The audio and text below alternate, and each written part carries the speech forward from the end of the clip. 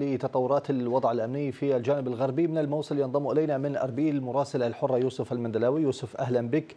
هل هناك أي معلومات إضافية على ما أوردته في التقرير الذي تابعناه يوسف من أرض المعركة؟ نعم مساء الخير. حيدر بالفعل اليوم قرية البوسيف أو هضبة البوسيف هذه القرية التي كان فيها قتال منذ يومين أو ثلاث اليوم انتهى المطاف بها بالسيطرة الكاملة لقوات الشرطة الاتحادية قوات الرد السريع هي من حررت هذه هذه المنطقة وقوات الشرطة الاتحادية اليوم دخلت بأعداد كبيرة بسيارات وبسيارات عسكرية وبمقاتلين يعني وبعدد كبير للسيطرة التامة على هذه المنطقة.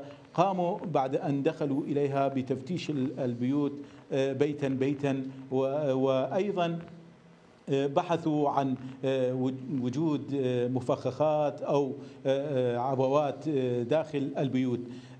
شاهدنا في أثناء تجوالنا في هذه المنطقة أعداد كبيرة من قتلى داعش وأيضا شاهدنا يعني أعداد من الناس المواطنين النازحين بحدود حوالي 60 عائلة تم إجلاءهم بسيارات عسكرية إلى خارج المنطقة.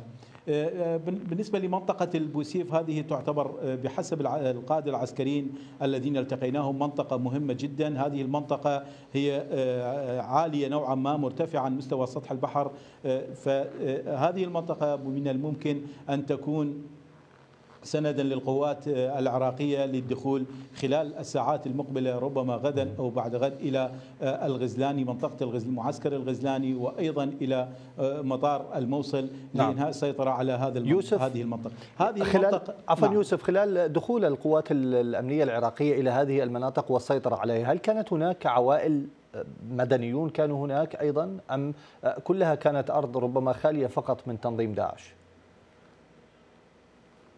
يعني بحسب ما شاهدنا لم تكن هناك عوائل.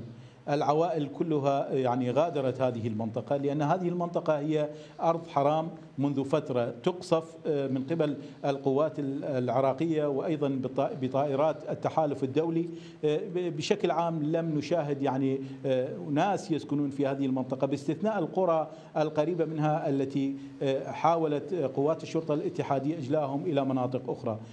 يعني أردت أن أذكر أن داعش مسلحو داعش حاولوا اليوم القيام بعمل ما من أجل أن يعني يبرزوا وجودهم.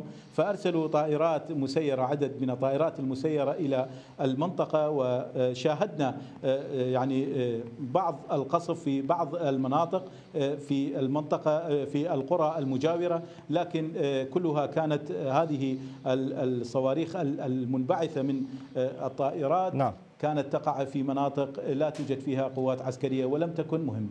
وأيضا بلغتنا أنباء أن طاقم الحرة أيضا ربما تعرض إلى قصف من هذه الطائرات المسيرة. الحمد لله أنكم بخير وكونوا بخير دائما. يوسف المدلاوي كنت معي من أربيل. شكرا جزيلا لك.